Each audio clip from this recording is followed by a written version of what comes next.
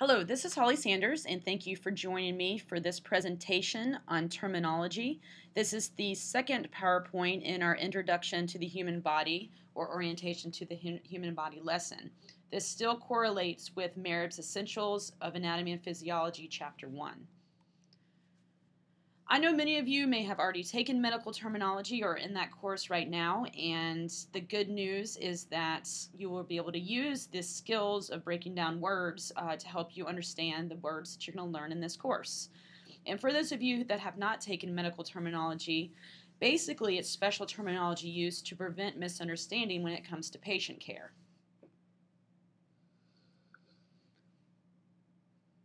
These words come from Greek and Latin roots, so many of them will be unfamiliar at first, but the more you work with them, the more comfortable you will become with them, and you'll be using these words and these terms throughout this course and throughout your programs and future careers. So it's really important that you take the time necessary to get these terms down during this portion.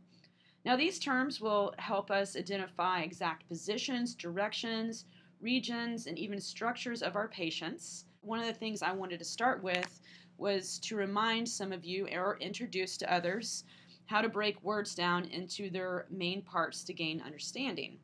As you can see on the screen, we're using the example word of abdominopelvic, which can look like a large word, but if you use the skills that you will gain in medical terminology, then you can break this down into two words. So the first thing you'll want to look for is the combining vowel, which is normally an O, and in this case it is an O, my cursor is on it. And if you do what I call a slash, meaning slash right through the combining vowel, then it will break the word into two parts. And then you see abdomino, and then on the other side of the O, pelvic.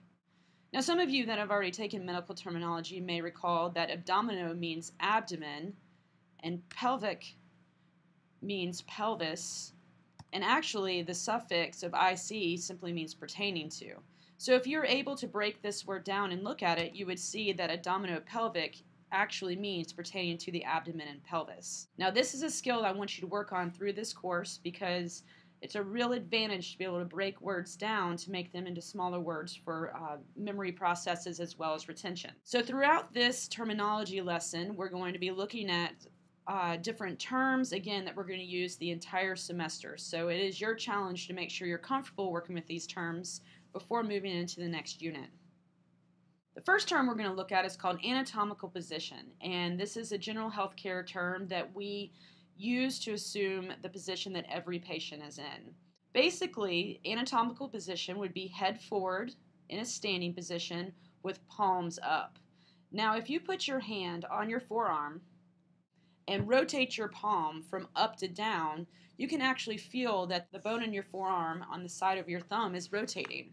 So in an anatomical position, both bones of the forearm are straight. Another thing I want to point out as you get started in this course is when we are looking at a patient or we are looking at a diagram, that it is going to be mirrored image. So the right side is on your left and the left side is on your right.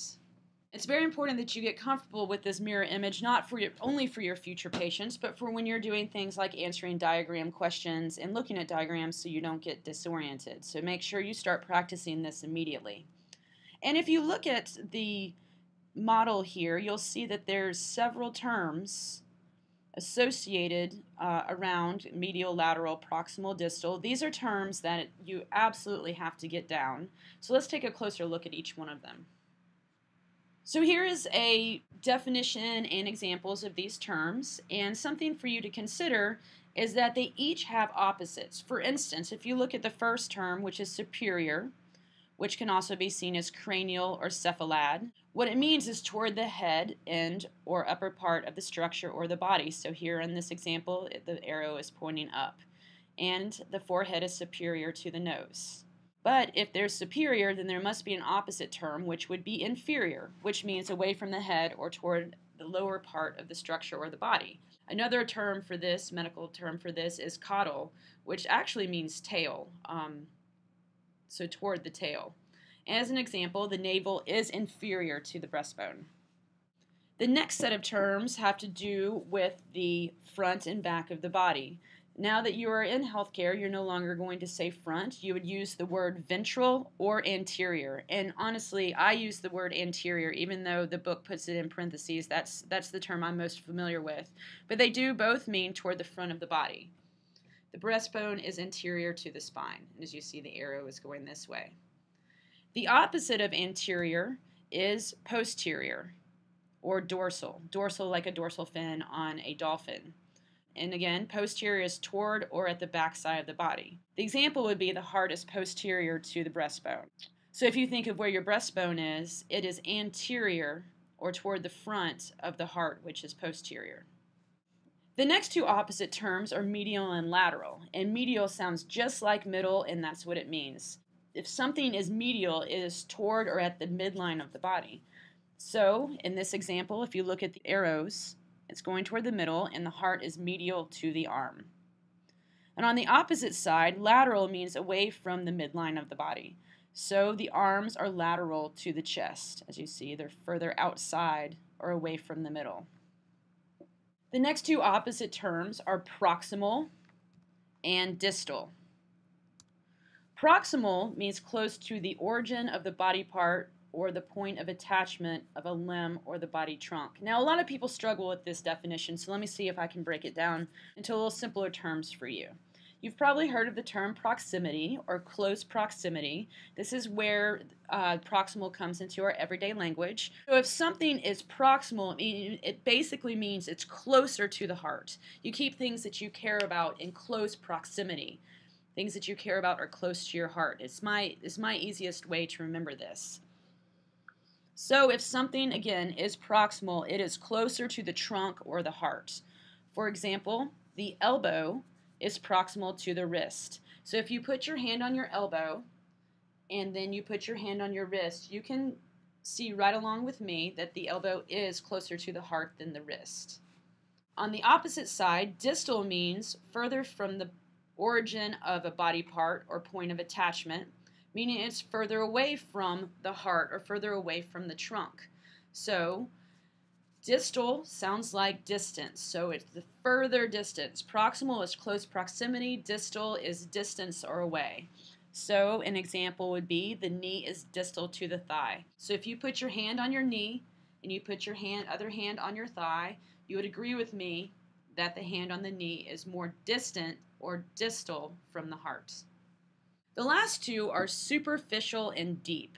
And superficial, just like you would use in middle school, saying she is so superficial means that it's toward the body surface um, or shallow. So superficial would be toward the, the external surface of the body, and deep would be toward the internal surface of the body. So as an example, skin is superficial to the skeleton because as we know the skeleton is deeper than the skin. Need to take the time to become very familiar with these words. There's only 12 of them superior, toward the head, inferior, away from the head, anterior or ventral, toward the front of the body, dorsal or posterior, toward the back of the body, medial, toward the midline, lateral, away from the midline, proximal, close to the heart, distal, further away from another body part from the trunk or the heart, superficial toward the external surface, and deep toward the internal surface. Those of you that have not taken medical terminology and are new to healthcare terms or healthcare course are going to have to work harder to get comfortable with these words. But the time you put in is well worth it. We're going to be moving into different units where you're going to hear things like uh, what is the distal lateral bone of the leg? And that's going to ask you to recall this terminology as well as understand the skeletal structure. And for those of you who are curious, the distal lateral bone of the leg would be the fibula. Next, we're going to move into regional terms. Now, welcome to your first diagram of the course, and you're going to be able to locate this diagram on Angel as well as a posting I put on Edmodo, and you're going to need to learn all of these terms. These are regional terms, so if you're speaking to another healthcare professional and they're talking about a, pa- uh, let's say, a patient's sternal area, that both of you know that you're talking about the breastbone. That goes for every single one of these. So take the time to get these down. And the good news about this is these will come up the rest of the semester. So the work you put in now will continue to pay off. So there is a ventral or anterior diagram and a posterior diagram. Now this is your first challenge to put your memory techniques at work. Here is the picture of what you can print off from Angel or Edmodo, and you will see that you have the body region terms on one side and then blank bodies for you to fill in the lines and write the words. I did this on purpose because it is a great learning technique for you to write. So don't get tempted to just draw lines from, say, frontal to the frontal region. Draw a line from the frontal region to the side and actually write frontal in every single one of these terms. And there's no reason for you to do this only once. You can print off as many of these pages as you like and continue to write these words and fill them in and quiz yourself until you're certain you have them down. Now again, some of you will have to work long and hard on this because these are new words, and some of you already have experience. But to be successful in this class, you're going to have to put in the time on this diagram as well as future diagrams to learn and master the anatomical structures. The next set of terminology has to do with body planes and sections. There are four or five main sections that we'll look at and first and foremost these sections will come up in the book as different diagrams and different ways you'll look at things but also it's a way that we look at patients. So let's look at the one to the left first. This is a medial section. As you can see it separates the body into right and left halves and if it's directly in the middle then we'll call it mid-sagittal. And as you see this picture of the abdomen this is a mid-sagittal section or a side section so you can see the organs and the contents of the abdomen. The next one is a frontal section. That's when you separate the body into anterior and posterior parts. And here's a thoracic view of a frontal section. And then we go to a transverse plane or section, which is where it goes across and divides the body into superior and inferior parts. And so if you look at this, we're looking down onto the the liver, which is over here, and here's the spleen and stomach. So we're looking at the organs of the abdominal cavity in a transverse view. The next terms describe body cavities. Basically, a cavity is a hole that something sits in. So we have two main cavities, and I'm going to show it to you on a diagram. We have the posterior or dorsal body cavities, and then the ventral or anterior body cavities. In the posterior body cavities, we have the cranial cavity, which of course the brain sits in, and the spinal cavity, which holds the spinal cord. On the ventral side, we have the thoracic cavity, which holds the lungs and the heart, the abdominal cavity, which holds all of the abdominal organs, and the pelvic cavity, which holds the pelvic organs. Now, there is a huge muscle that separates the thoracic and the abdominal cavity, and that's called the diaphragm. But down below, inferiorly, between the abdominal and the pelvic cavity, there is not a structure. This is just a line to show where the general division between these two cavities are, but there is no structure here. The only thing that makes this different is what organs are kept within each. And then if you remember that very first word that we talked about breaking down mid-term, here it is, abdominopelvic cavity. And just to remind you, that means pertaining to the abdomen and the pelvis. So make sure you become comfortable with these terms and these different cavities.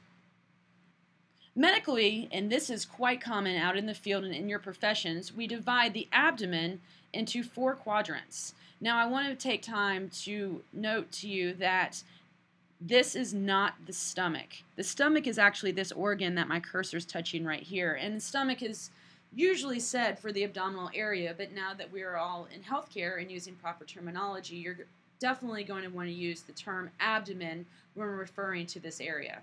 It's divided into the right upper quadrant, left upper quadrant, right lower quadrant, and left lower quadrant. Here's the abbreviations RUQ, LUQ, LLQ, RLQ.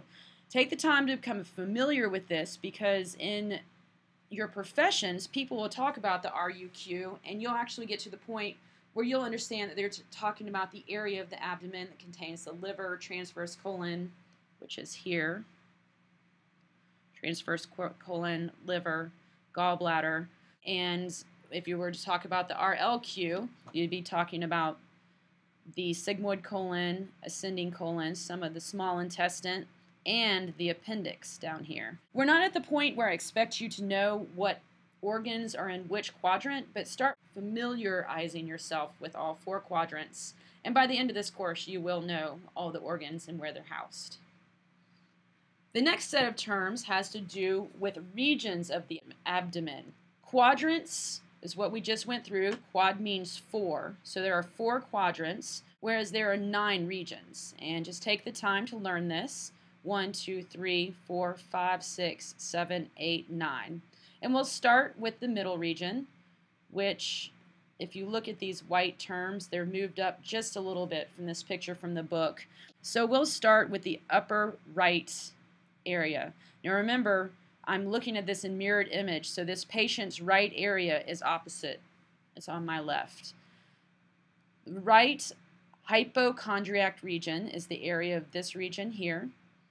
Hypo means beneath, chondro means cartilage, and I, IC means pertaining to. So it's pertaining to under the cartilage of the ribs. So it's basic med term that's describing this area.